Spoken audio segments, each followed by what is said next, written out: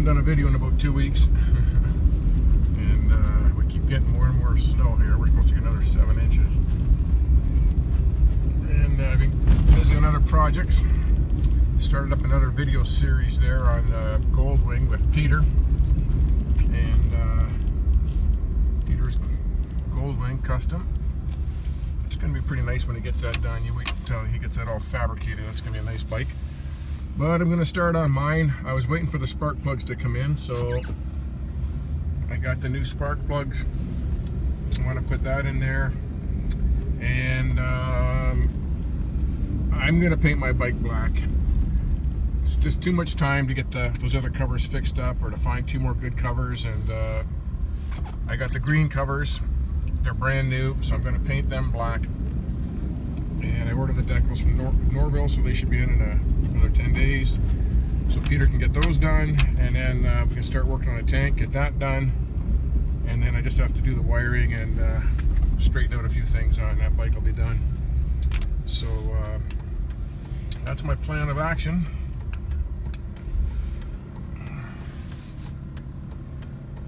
Uh, so I'll be doing, I'll be firing that bike up and doing the timing leg on it right shortly here, next couple days.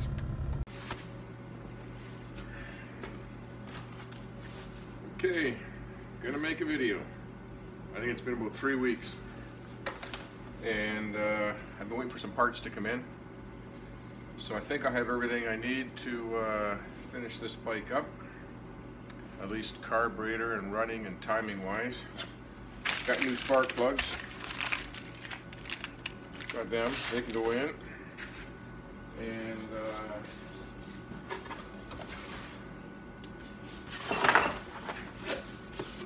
Got a new set of carbs from Greg Marsh Enterprises. Try them out, check them out. They came in today. Vintage British Motorcycles. Greg can help you out if you need some parts or carbs and stuff like that. Really good guy. Help me out. And uh, I also got some more parts here. Oh, what do I got here? I got some other stuff here too. Oh yeah. I think this is from Taiwan, not sure.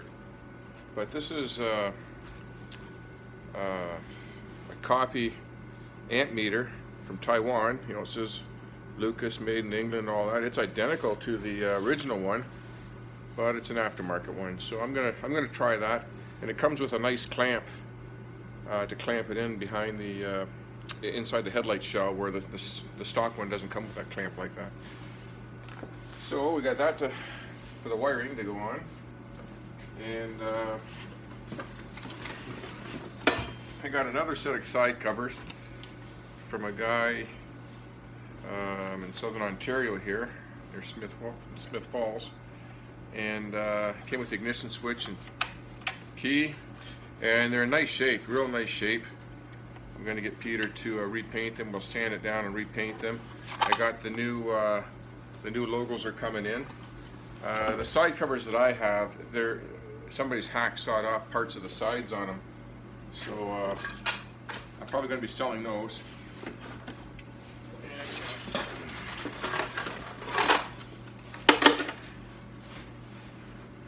Here's the other side. The only thing is this one's missing the bracket, but I'm going to take that out of one of the beat up side covers. And then I'm going to keep my two new uh, green ones. Just going to keep those until I can get another tank and uh, get the paint to match on the tank. So we're going to get these two redone by Peter. And the tank right shortly. And then also, I've got this really rare tail light. Guys, all kinds of people have offered to buy it off me. Right here, if you can see that in there. But this is an original uh, tail from, uh, I think 69, 70 was the only years they, they made them for the, the uh, S model and the Roadster. And that's the original metal flake silver on there. And the thing is in excellent condition, mint condition. So I don't know if I'm going to sell that now or box it up. But I found uh, that same guy in Smith Falls was selling uh, uh, another one here. I think this is off of 71 and it's got the larger cutouts here. 71 or 72 and it's got a broken piece in here. So I can, I'm gonna make this and uh, this will go with the black bike black side covers the black tank. And it came with all the came with all the parts. $45 for this whole tail light assembly. Came with reflectors license plate bracket headlight shell everything's there. Gonna clean that up get that painted get that fixed. Take this one off. So this bike's gonna be all black for right now. And because uh, I've, I've, got everything for that to, to go black. And uh, it, it, just the, the, silver paint just looks so good with the black hang on to those two new green side covers so I got that to go on get all those fixed up but uh, right now I'm going to put those two new carbs in put the spark plugs in and uh, get, get back on this bike again I'm not even going to fire it up more. I'm going to put these carbs on and uh, get going on. So that's what we're going to do right now. Let me get started here.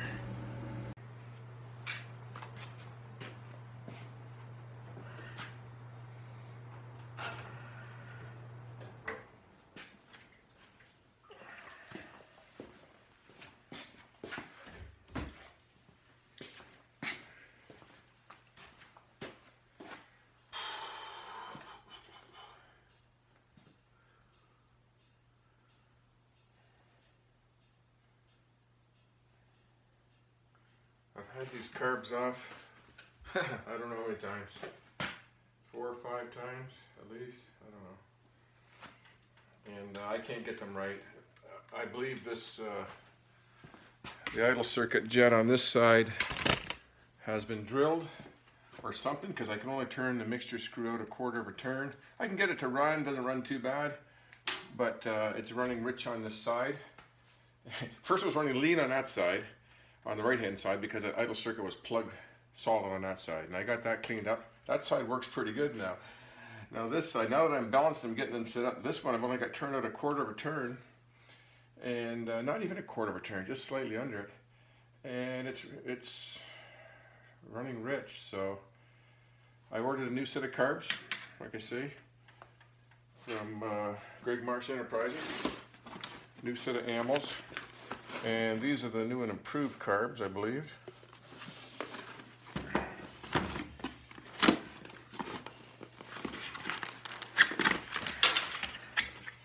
Oh. oh I got a, a, spare main jet in there, and I got a set of Allen head screws too. The washers, the whole works.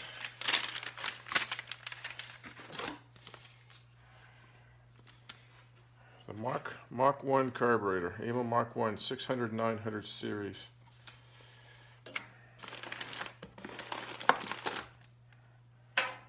Let's see what these jets are here.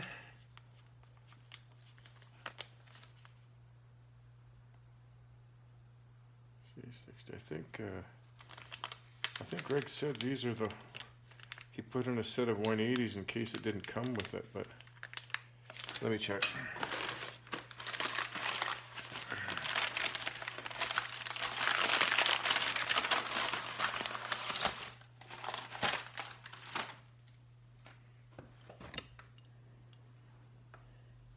It's looking much better than my carbs.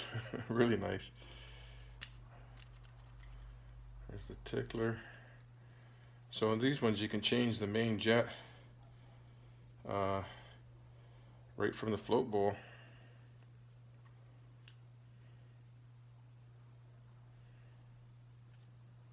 A new O-ring in it.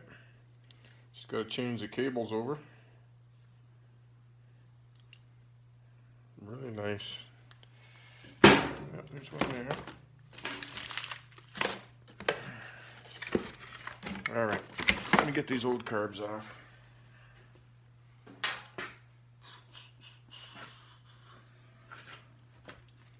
I'll get back to you when I get these carbs off. You see me do that so many times. okay. Got the old carbs off. And uh, where are we here? I'm gonna check to see, uh, nice with the, with the new carbs, you can just check the main jet from uh, the bottom of the float bowl without taking the taking the bowls off and disturbing the gasket. So the 1970, and I think most of the models, it's a 180 main jet.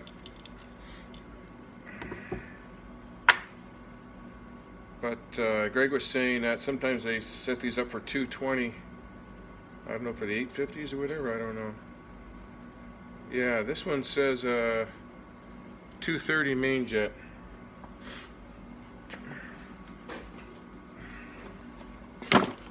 So,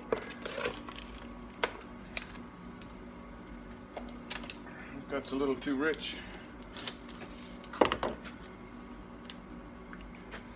So this one is a 190. So I'm going to put the 190s in there. Just a 5 16 deep socket.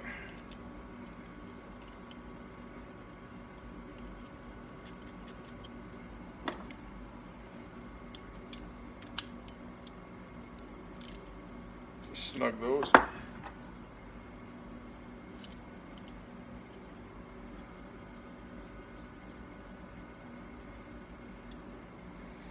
And I guess in these carbs too, the uh, the new carbs you can uh, uh, you can change the idle circuit jets. They're not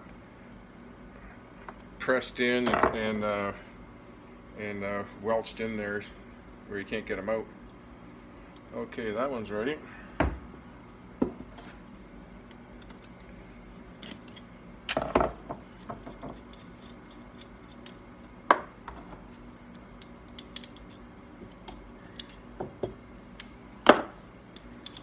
Yeah, I kind of given up working on this bike for the last two or three weeks.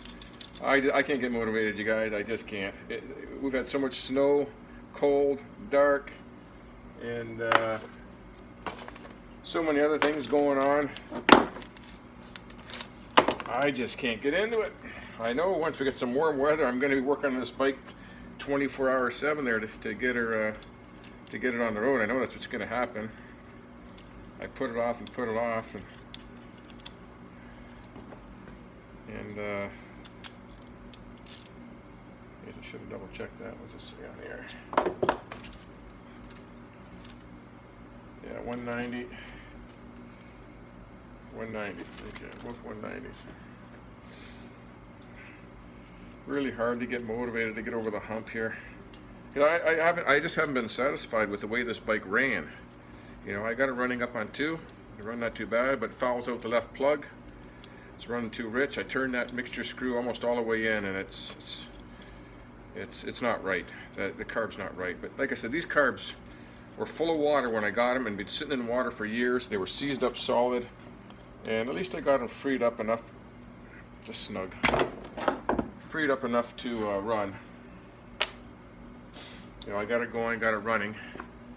That's what I wanted to know, but. Uh, I, I, hate. I just hate buying new carbs. This is the first new carbs I've ever bought in my life. I've always been able to fix the carbs one way or another. But uh, that idle circuit screwed. Uh, the slides are scored. Um, just too much damage, I guess. So, I'm gonna stick these new ones on. Okay, let me get the, these back on and set up.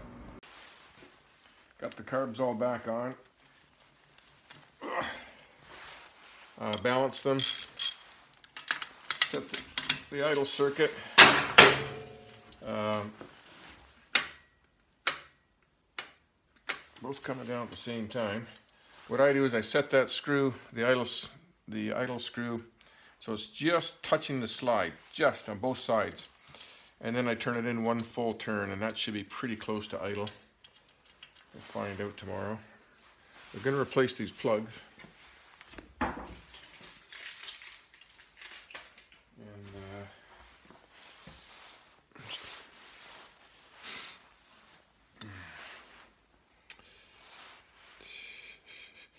I don't, there's a couple things about spark plugs you might not know.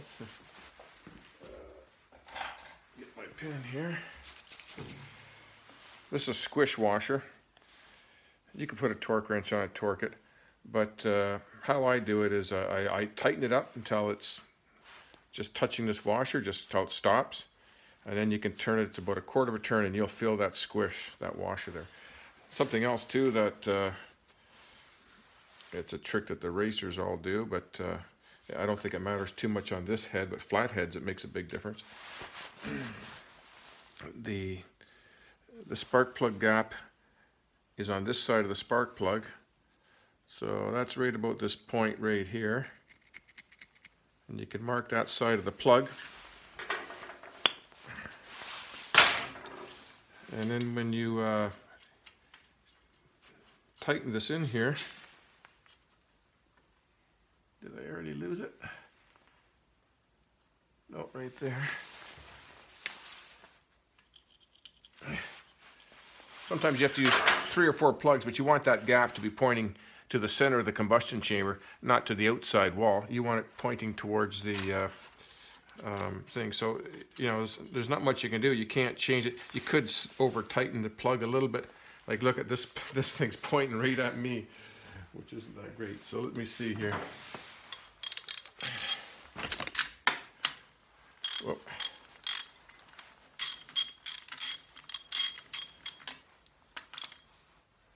So it's just, it's just, you can feel that spark plug's just bottoming out now, and now it's just like a, a quarter of a turn or right there, it just bottoms out. It's probably a quarter of a turn. And my green, my green line is right here, not quite at the back, but almost pretty close. They'll get a better burn if it's, uh, you know, right into the middle of the combustion chamber. Okay, I'm going to do the other side now. That's it for tonight. I'm not going to fire this bike up tonight. Um, it's getting late. It's about 9.30, I think, 9.30, 10. And uh, so tomorrow, put the gas tank on, fire it up, put the timing light on it, make sure that's set. And uh, hopefully this bike runs perfect. That, that should be it. I'm going to retorque the head one more time. And, and then now I can focus on all the little crap here and get the wiring done. I, I just haven't been able to go forward, not because I just haven't been happy with this, the way this bike's running. You know, I, I got it running on two and pretty good, but not good enough. And I'm, I'm hoping those new carbs are going to be the trick. Uh, I'm pretty sure they are. And uh, we'll get this bike all buttoned up so I can get on to the next project.